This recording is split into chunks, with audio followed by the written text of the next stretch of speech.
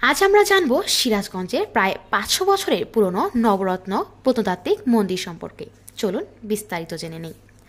সিরাজগঞ্জের রায়গঞ্জের সলঙ্গায় অবস্থিত প্রায় পাঁচশো বছরের পুরনো প্রত্নতাত্ত্বিক নিদর্শন হাটিকুম্বল নবরত্ন মন্দির। উঁচু একটি বেদির ওপর নবরত্ন পরিকল্পনায় নির্মিত মন্দিরের প্রতিটি বাহুর দৈর্ঘ্য পনেরো দশমিক চার মিটার এবং প্রস্থ তেরো দশমিক পঁচিশ মিটার। হাটিকুম্বল নবরত্ন মন্দিরে চারপাশের দেয়ালে রয়েছে নানা রকম পোড়ামাটির অলঙ্করণ। এসব অলঙ্করণে ফুটিয়ে তোলা হয়েছে নানা দেবদেবীর মূর্তি, লতাপাতা, ফুল ইত্যাদি। তিনতলা বিশিষ্ট এই স্থাপনার ওপরের রত্ন বা চূড়াগুলো প্রায় ধ্বংস হয়ে গেছে। মূল মন্দিরের বারান্দায় সাতটি এবং ভেতরের দিকে পাঁচটি প্রবেশপথ আছে। দ্বিতীয় তলায় কোনো বারান্দা নেই। মন্দিরের নির্মাণের সময় সম্পর্কিত কোনো শিলালিপিও পাওয়া যায়নি।